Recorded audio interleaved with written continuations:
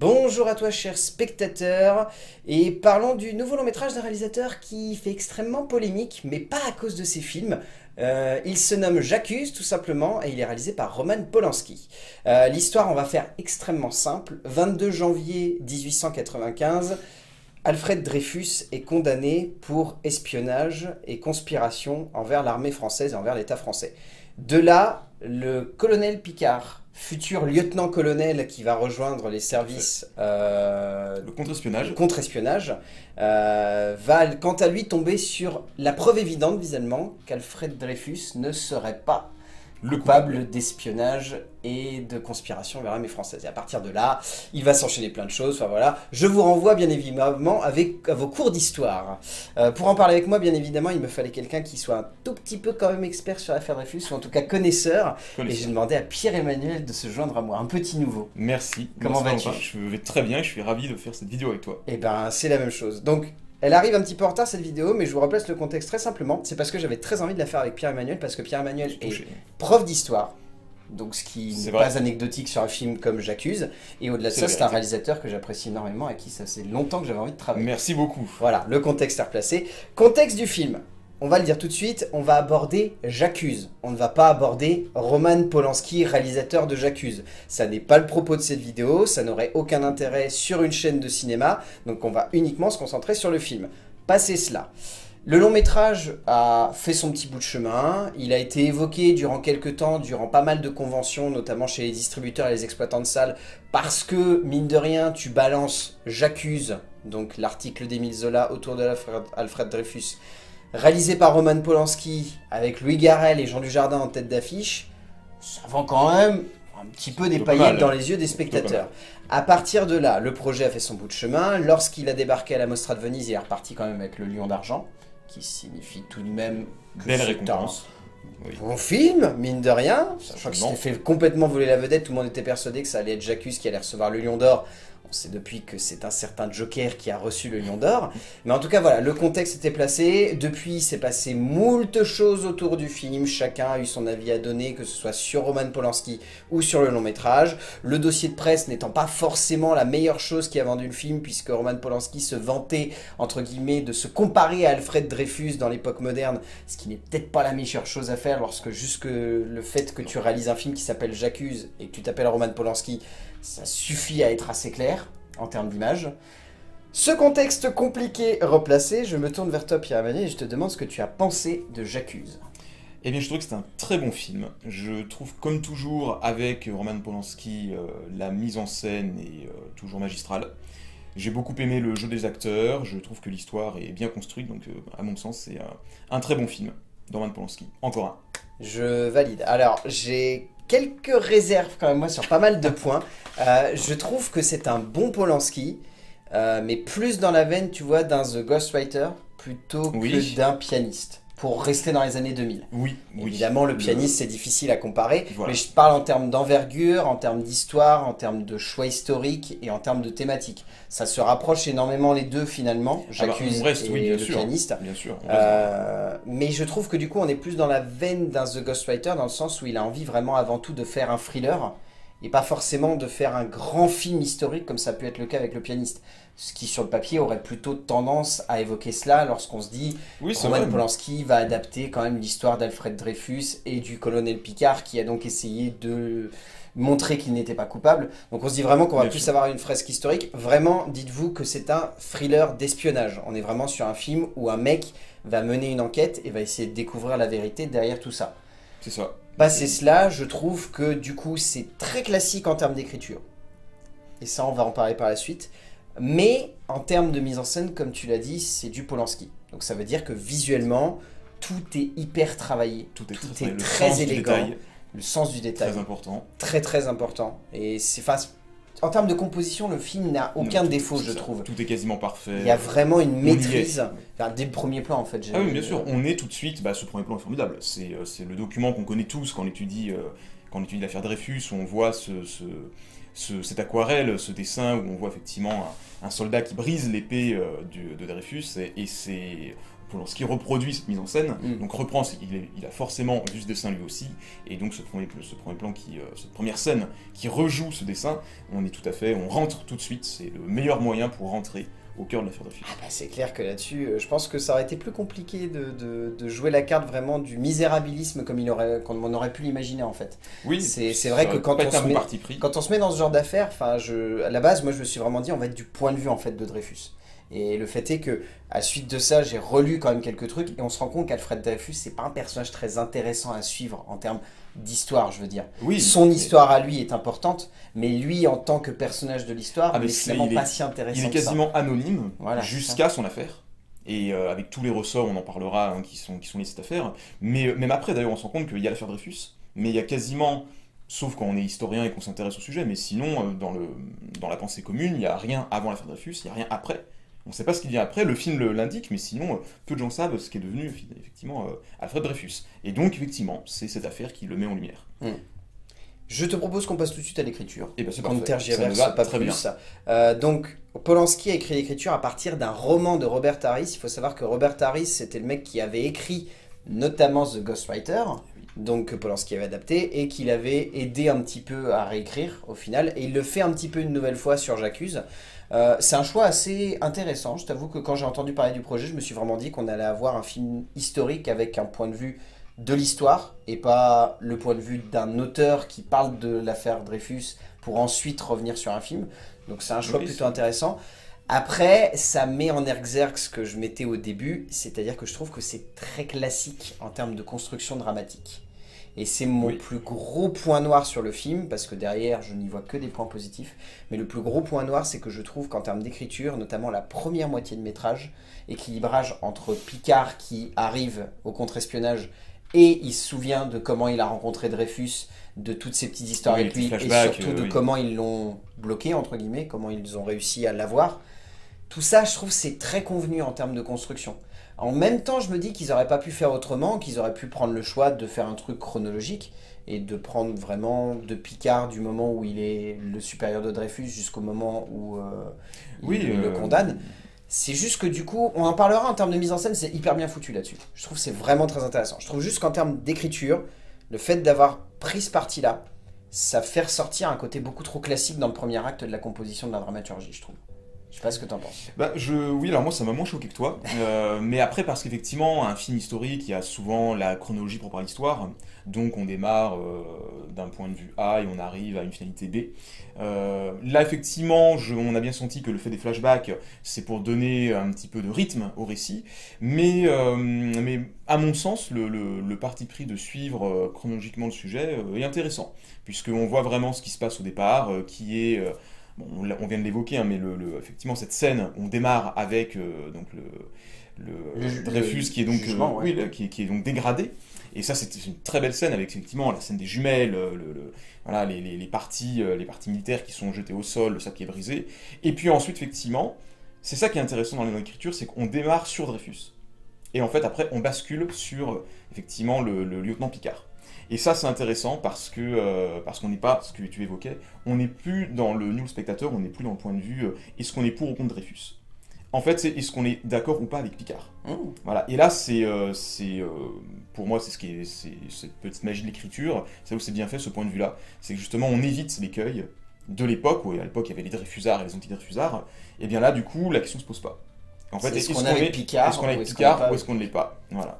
Et puis en plus, moi je trouve c'est un point qui est très intéressant que tu soulèves ça, c'est que en termes de composition d'écriture, le fait de nous mettre du point de vue de Picard, donc la personne qui mène l'enquête et essaye de découvrir la vérité, ça renforce l'immersion du spectateur. Parce que comme tu dis, là on est plus dans est-ce que Picard voit juste ou est-ce que Picard voit faux? Alors que si on avait été sur le point de vue de Dreyfus, on aurait été simplement, euh, bon alors, il est coupable ou il est pas coupable Innocent, coupable, voilà, ça aurait été effectivement relancer le débat qui est Ouais, c'est France. ça. Alors que là, du coup, on est vraiment d'un point de vue où c'est euh, regarder l'enquête, essayer de comprendre quels sont les ressorts de cette enquête, et après, vous ferez votre bilan à la fin. Et d'ailleurs, la fin, en plus, est très très bien écrite. Bon, ceux qui connaissent l'histoire, euh, je vous apprends rien, mais bon, ceux qui n'ont pas connaissance de l'histoire Dreyfus, les jeunes qui ne sont pas encore en troisième, regardez ailleurs deux secondes. Euh, le fait qu'à la fin, on nous montre vraiment jusqu'à ce face-à-face entre euh, Dreyfus et Picard après l'affaire, après que Dreyfus ait été à Oui. nouveau redécoré, etc., fait qu'on nous remontre un nouveau face à face, moi je trouve ça très intéressant parce que ça renforce du coup cet impact dramaturgique du on les voit ensemble au début, mais séparés par toute la cour, puis on les revoit par le biais du flashback se rapprocher, pour à la fin finalement les voir l'un en face de l'autre et voir la dure réalité des faits. C'est-à-dire que Picard, lui, il a gagné un poste au ministère et euh, Dreyfus, il est resté à la même place parce que bah, c'était Dreyfus et qu'il fallait euh, redorer un petit peu l'image de l'armée. C'est ça. C'est ça. Mais c'est là, effectivement, c'est tout le sens de cette écriture où, euh, comme tu disais, il n'y a que, de mémoire, il n'y a que 4 face-à-face. Hein. Je crois qu'il y a la scène, effectivement, d'introduction. Il y a ensuite le qui flashback. Est qui n'est pas vraiment un face-à-face, en plus, la scène oui, Oui, c'est juste pour montrer la connexion entre la les connexion entre les deux. Ensuite, effectivement, on a le flashback donc, euh, au sein de l'école militaire, mhm. où effectivement euh, Dreyfus demande à Picard si effectivement il lui en veut personnellement de par sa religion. ensuite, on a effectivement le matin où Dreyfus est convoqué avant donc du coup d'être d'être accusé donc de trahison, et puis on a la scène finale. Mm. je crois que je n'oublie pas. La scène finale, effectivement, qui, euh, qui remet les deux à nouveau euh, face à face. Et donc, c'est ça qui est intéressant, ce sont ces, ces destins croisés. Avec un destin central, celui de Dreyfus, mais finalement euh, un destin annexe.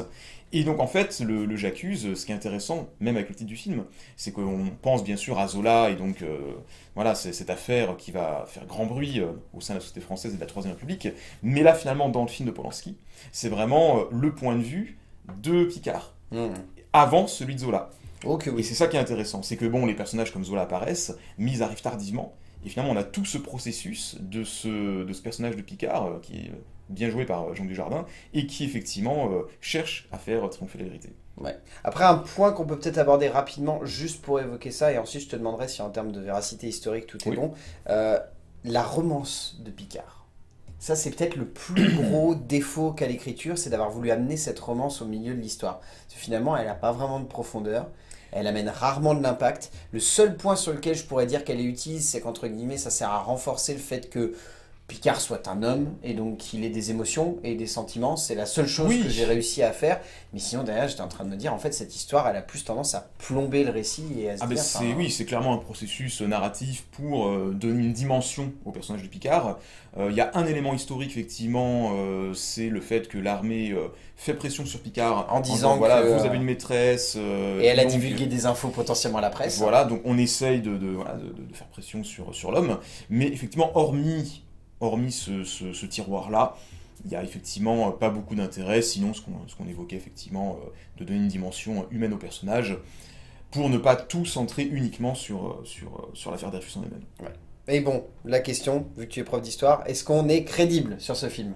Ah, on est tout à fait crédible. On est tout à fait crédible. La chronologie des faits est respectée, le déroulé des faits et en, bon, en plus c'est simplifié évidemment puisque l'affaire est très longue, elle est compliquée. Hein. Elle démarre en, en 1894. Euh, et elle termine en 1899.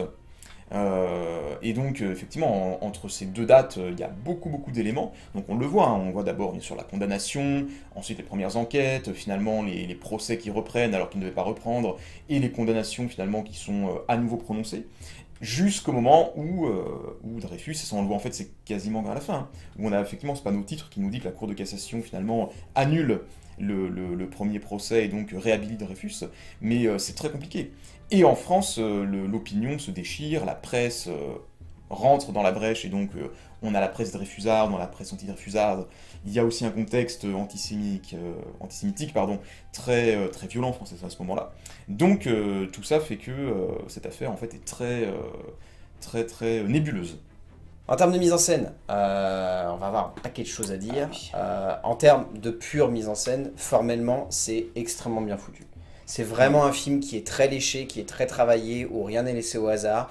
Euh, moi, tu vois, pour contrebalancer un petit peu ce que j'ai dit sur l'écriture, je trouve que par exemple, les flashbacks peut-être sonnent comme classiques, mais leur forme ne l'est pas du tout. Non, absolument pas. J'ai beaucoup aimé justement cette espèce de fondu, genre mise au point puis remise au point sur le flashback, qui est vraiment belle pour le coup. Avec beaucoup de gros plans souvent. C'est ça, ouais. Et ça a vraiment, enfin, pour le coup, c'est vraiment un bon effet. C'est un truc qui fait un peu cheap sur le papier. On pourrait vraiment se dire, c'est un peu comme les vieux feuilletons où c'était, on enlève la mise au point, on met la mise au point. Mais là, le fait que ça soit avec du numérique, que ça soit vraiment travaillé, que ça soit vraiment bien léché en termes d'effet, ça fait que du coup, on se laisse embarquer là-dedans et on se dit, sur le papier, ça peut être cheap, mais dans le contexte du film, finalement, ça sonne bien il y a plein de petits trucs comme ça. Mais ce plan d'introduction est fantastique. Enfin, ce gros plan très large sur la cour où littéralement tu as cette ces rangées de soldats qui sont tous alignés pour attendre Dreyfus qui arrive, et avec ce gros carton qui met tous les personnages et les faits décrits dans ce film sont réels. Oui, bien sûr. bah, Et ensuite lance, Dreyfus euh, qui arrive, c'est hyper impactant.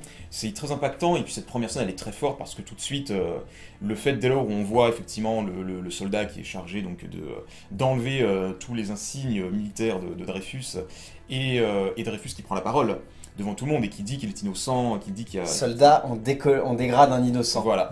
Et là, tout de suite, et ça c'est aussi, il faut le dire, hein, c'est vrai que bon, Polanski euh, est quand même un, excellent réalisateur, c'est aussi un, des, rares génies de la mise en scène, euh, mais le cinéma en compte quand même quelques-uns. Et tout de suite, on rentre dans le film. Tout de suite, on rentre dans l'émotion, tout de suite, on comprend quel va être son propos. Et effectivement, tout le film découle de cette mise en scène qui est absolument excellente. Les détails. Moi, ce qui m'a marqué aussi dans cette mise en scène, c'est le côté sonore, c'est qu'on a tous les petits détails, tous les bruits.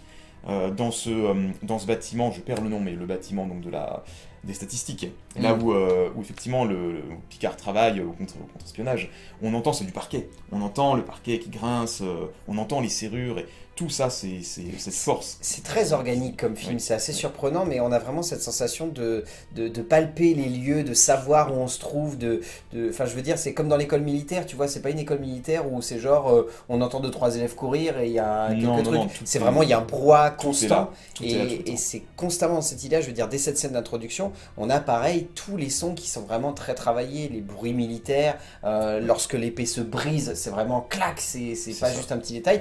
Et à contrario, c'est pas un film qui cherche à en faire trop. Je veux dire, Non. quand il y a des coups de feu, quand euh, il y a des gens qui se font poignarder ou des choses comme ça, c'est pas des gros effets, genre vous allez entendre les basses du coup de feu. C'est genre vraiment, c'est même euh, intimiste quasiment. C'est ça, Et ça qui est, qui est très fort, c'est qu'on on arrive en fait à être avec les personnages tout de suite et tout le temps. Et on a vraiment l'impression qu'on est juste à côté d'eux. Enfin moi c'est ce que j'ai ressenti, c'est que on est vraiment intégré au film, intégré à l'histoire. Puis un truc moi qui m'a marqué, tu vois cette affiche qu'il y a du film, Oui. ce face à face. Quand j'ai vu l'affiche, je me suis dit c'est vachement bien pour une fois, on a une affiche où euh, dessus c'est pas un plan du film. Et en fait si, c'est un plan du film. Mais il est tellement bien foutu qu'ils se sont dit c'est logique, on va le garder, on va en faire affiche. Et le film est à cette image-là tout du long. Dès qu'il y a des face à face, la mise en scène elle est splendide quoi. C'est hyper symétrique, c'est très élégant. Travail des ombres aussi mine de rien, on n'en parle pas beaucoup, mais le film Oui. se passe souvent dans des lieux très fermés ou quand c'est pas des lieux fermés où il y a beaucoup de fenêtres, où il y a un travail avec les rideaux, etc. Et c'est vraiment, c'est vraiment marquant, quoi. Ah ben, il y a vraiment, oui, c'est effectivement ce jeu d'ombre et de lumière. En fait, il y a très peu, il y en a quelques-uns, mais il y a très peu de plans à l'extérieur. Euh, et du coup, effectivement, il y a toujours ce rapport. euh, on voit beaucoup dans la mise en scène autour de, de Jean Dujardin. euh, il y a toujours, il y a souvent une fenêtre Mm. près de lui. Il est souvent à la fenêtre, en tout cas pas loin. On le voit, il y a cette scène où il n'arrive pas, il a chaud, il n'arrive pas à ouvrir la fenêtre de son bureau. euh, Quand il, est dans- quand il est en prison, il y a toujours la fenêtre qui renvoie de la lumière. Le, le plan, effectivement, où il est euh, en Bretagne, il ouvre la fenêtre, il voit son voisin qui ouvre, enfin, il ouvre ses volets, il voit son voisin en face de lui qui ouvre aussi les volets. Il y a toujours ce. Et la fenêtre au cinéma, ça veut dire beaucoup de choses évidemment. C'est Ouais, bah oui. un portail sur un, un autre monde, une autre dimension, en tout cas un autre espace euh, de lieu et de temps. Et donc, euh, oui, c'est c'est flagrant. Et puis pareil, dans cette optique-là, c'est très intéressant justement, comme tu dis, de placer ce fait de la, de la lumière et de la fenêtre, parce que constamment, lorsqu'il va aller à la fenêtre, il va être coincé. Soit par la Bon. fenêtre physiquement, Oui. soit par des barreaux, soit par littéralement bah, l'officier qui veut le condamner en face de lui. C'est ça. Et c'est très intelligent parce que L'horizon est toujours barré. Voilà, et Oui. c'est- et c'est constamment comme ça, c'est-à-dire que le personnage de Picard, on dirait qu'il y a toujours quelque chose qui se dresse devant lui, et la mise en scène de Polanski joue beaucoup là-dessus, que ce soit lorsqu'il rencontre Esterhazy, que ce soit lorsqu'il y a l'assassin qui arrive derrière eux vers la fin du film, que ce soit tout plein de petits détails, il y a vraiment une espèce d'oppression constante du spectateur qui consiste à dire, regardez bien dans le cadre, parce que le danger est toujours là. Et même lorsqu'il est en procès, lorsqu'il est en Oui. procès, le danger il vient d'où? Bah, De juste derrière, lorsqu'ils vont appeler un témoin et que d'un seul coup le témoin. Voilà, exactement. Et puis, euh, il y a- c'est vrai qu'il y a ce côté même, euh, cette, euh, à mon avis volontairement, cette différenciation entre intérieur et extérieur, où toutes les scènes intérieures sont toujours, pour, pour Picard, sont toujours synonymes de problème. Les scènes à l'extérieur, il est toujours héroïque. Mm. Voilà, à chaque fois. Il est euh, soit parce qu'il va au bon endroit, donc quand il rencontre, hein, euh, quand il rencontre Zola, Clémenceau, euh, soit quand effectivement il... euh, alors il y a, il y a l'assassinat de l'avocat, et puis il lui court après, donc le côté héroïque, et puis également, et là je perds mon troisième point, pourtant c'était très important.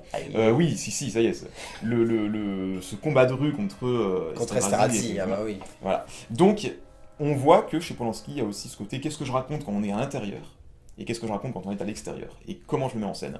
Et, et ça montre, comme ça témoigne, euh, faut-il le préciser, mais encore une fois, d'une grande, grande maîtrise de la mise en scène. Oh que oui, oh que oui. Et puis au-delà de ça, euh, il y a un point que je trouve très important aussi, c'est que Polanski, il a vraiment souhaité faire en sorte qu'en tant que spectateur, on soit touché par ce qui arrive à Picard.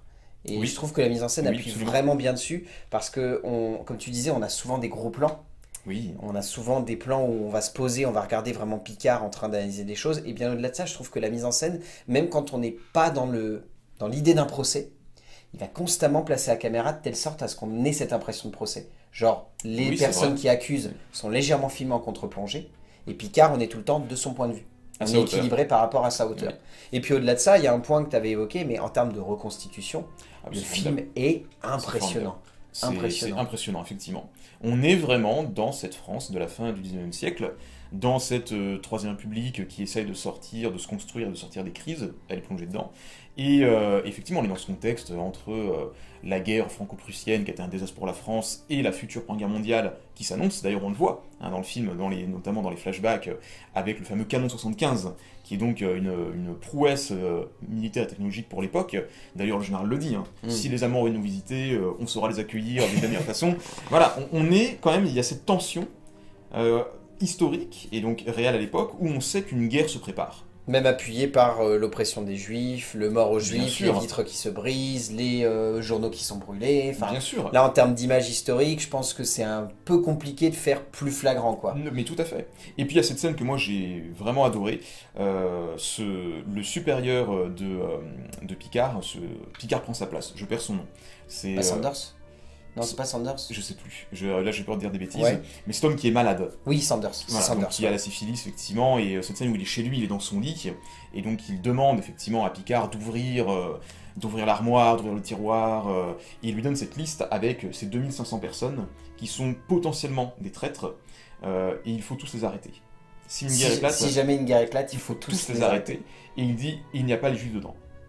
Donc parce que effectivement, ça veut dire qu'on est dans cette époque-là, ou même au sein de l'état-major, alors c'est pas tout l'état-major parce qu'il y a vraiment, on comprend, Delfruzard, anti-Delfruzard, donc il y a vraiment une cristallisation entre une partie de la France qui est antisémite, une partie qui ne l'est pas, même dans l'autre du pouvoir. Et donc, il y a quand même cette crainte pour certains, euh, certains fonctionnaires de l'état-major, que, effectivement, le juif au sens large est un traître. Et donc, euh, il faut s'en méfier. Et potentiellement, il faut tous les arrêter. Voilà. Et, cette scène euh, est formidable pour ça, parce qu'elle euh, elle souligne vraiment un aspect historique de cette époque. Alors qui, bien sûr, qui sont un petit peu grossis, mais qui témoignent quand même d'une vérité. Oh que oui, oh que oui. Ah, c'est bien quand même d'avoir des, petits, euh, des petits points de vue. modestes aux éclairages. Ouais, non, non, mais c'est bien. un tout petit point que je vais aborder, qui est légèrement lié à la mise en scène, c'est le travail de la musique d'Alexandre Desplat qui bosse avec Polanski depuis maintenant plusieurs années. Euh, c'est pas non plus hyper marquant, mais c'est qu'il utilise des sonorités très particulières, euh, notamment le thème J'accuse qui va vraiment utiliser des, des, grosses basses, un thème vraiment marquant, genre et puis ça va grimper en crescendo. Et le thème aussi de contre-enquête euh, et de l'arrivée aussi sur c'est l'île du diable. C'est l'île du diable. C'est l'île du diable, c'est ça, qui est très particulier. Vous l'écouterez, mais il est très atypique, mais la sonorité est assez intéressante. J'avoue que quand j'avais écouté la bande originale au début, j'étais un peu décontenancé par les sonorités qu'il utilisait, des sonorités un petit peu, des percussions euh, un peu à, voilà, venu des îles, mais c'était, ça sonnait vraiment comme bizarre et au final ça sonne comme plutôt logique dans le film. Voilà, c'était juste un tout petit point que je voulais aborder. Euh, je te propose qu'on passe au casting parce que pareil, on va avoir pas mal de choses à dire. Euh, Certainement. Alors moi j'ai une chose à dire. Polanski, Roman, arrête de faire tourner Emmanuel Seigné. Personne n'en veut à part toi. Donc arrête. Ça ne sert à rien de la faire tourner. Je sais que c'est sa femme. Mais regarde, même Tim Burton, au bout d'un moment, il a compris qu'Hélène Bonham Carter, fallait pas toujours lui confier le rôle principal. Et qu'à des moments, il fallait la recaler. Et voilà, fais la même chose. Tu confies tes rôles à d'autres actrices qui sont bien meilleures. Je veux dire, Eva Green, tu l'aurais collé dans le rôle de, euh, dans le rôle de cette femme, ça aurait été nickel. Bien mieux que d'après une histoire vraie d'ailleurs. Euh, non, c'était juste ça. Au-delà de ça, qu'est-ce que tu penses du casting dans sa généralité? Eh bien, peut-être euh, Jean Dujardin et Louis Garrel qui sont vraiment les oui, deux bah, qui sont effectivement, qui sont les deux grands acteurs. Alors moi, je, je bon, j'ai d'a priori contre personne. bon, c'est que maintenant, Jean Dujardin étant Jean Dujardin, c'est comme maintenant ces grands acteurs où dès qu'on les voit à l'écran, on pense d'abord Agent du Jardin. du Jardin. Et pas à Picard. Et pas à Picard. Et là, eh bien, j'ai été bluffé parce que euh, j'ai oublié Jean du Jardin et j'ai vu Picard. Alors effectivement, c'est le même visage, hein, mais, euh, mais de, la justesse de l'interprétation m'a vraiment, euh, m'a vraiment impressionné. Et, euh, et Louis Garrel. Alors là- là, pour, pour le coup, là, j'ai vraiment vu Dreyfus. J'ai Mm. vraiment, exactement comme sur les images de l'époque, j'ai vu Dreyfus et j'ai pas du tout vu Louis Garrel. Ouais. Pas du tout. Et ben moi je ne peux qu'approuver ça. Je citerai Grégory Gadebois, que j'ai beaucoup aimé dans le rôle d'Henri. Je trouve qu'il a une très jolie interprétation. Oui, excellent. Mine de rien, très anecdotique, mais Laurent Stocker aussi, qui joue donc euh, Oui. le responsable de, euh, de entre Le- guillemets, euh, le- la personne qui est supposée de prouver que Picard est lui aussi un traître. Oui. Et très très bon. Alors qu'il a un tout petit rôle, mais alors Oui, vraiment mais, bien.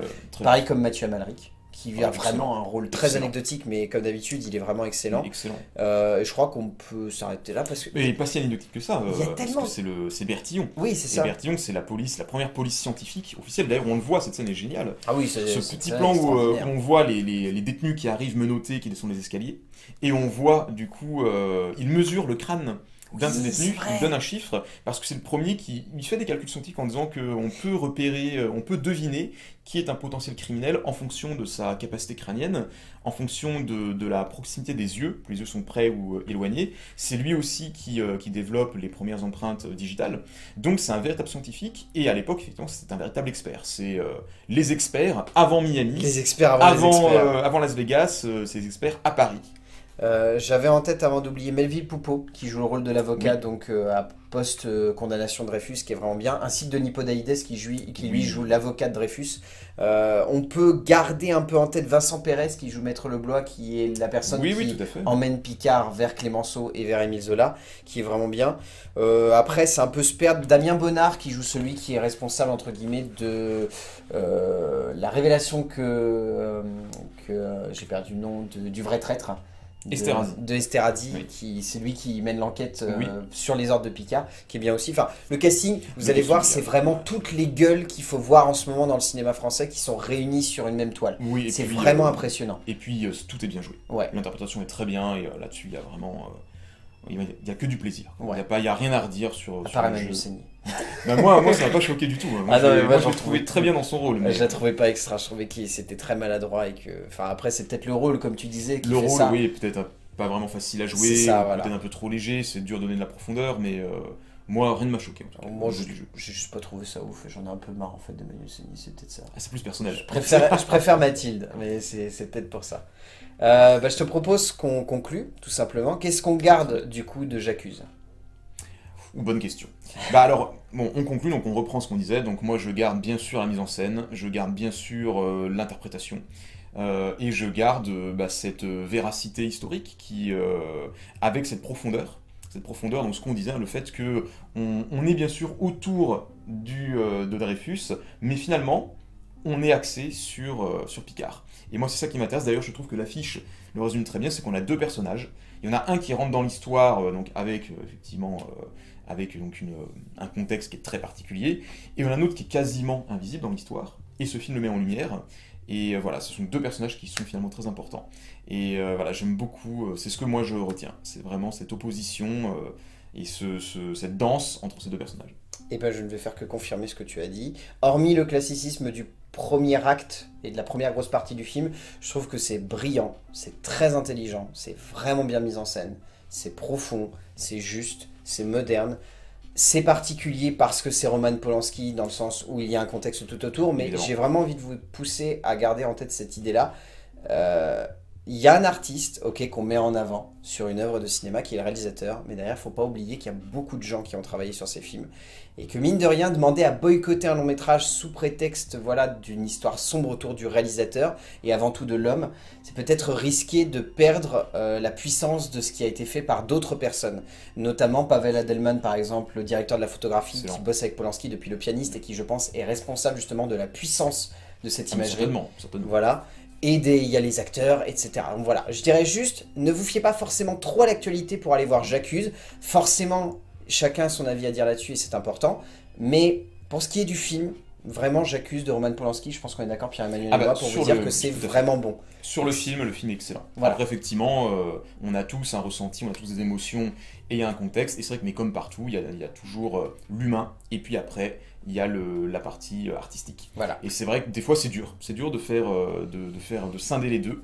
Euh, mais c'est vrai qu'en tout cas, le film, le film est vraiment très bon. Ouais, c'est la grande question. Est-ce qu'il faut arrêter de regarder Le Pianiste à cause de ce qui est arrivé à Roman Polanski? Est-ce qu'il faut arrêter de regarder The Usual Suspects à cause de Kevin Spacey? Est-ce qu'il Ce faut refuser de regarder The Disaster Artist à cause de James Franco? Ça, c'est un autre débat. En tout cas, j'accuse de Roman Polanski, on est d'accord tous les deux pour vous dire qu'il faut le voir en salle. C'est un très bon film. Voilà. Merci Pierre-Emmanuel Merci beaucoup d'avoir Valentin. participé à cette vidéo. Avec grand plaisir. C'est un plaisir de t'avoir pour Ah, la première fois sur cette chaîne et j'espère pas la Un réel dernière. plaisir pour moi, bah, avec, euh, avec une grande joie, je reviendrai. Et ben c'est parfait. Sur ce, nous allons dire aux gens d'aller voir des films parce que c'est bien d'aller voir des films et on se retrouvera pour parler de films, bien évidemment. A plus. Au revoir. Et maintenant que la vidéo est terminée, je lance un jeu concours. Celui qui arrive à retrouver Roman Polanski dans le film, il gagne rien du tout, si ce n'est ma reconnaissance Excellent. personnelle.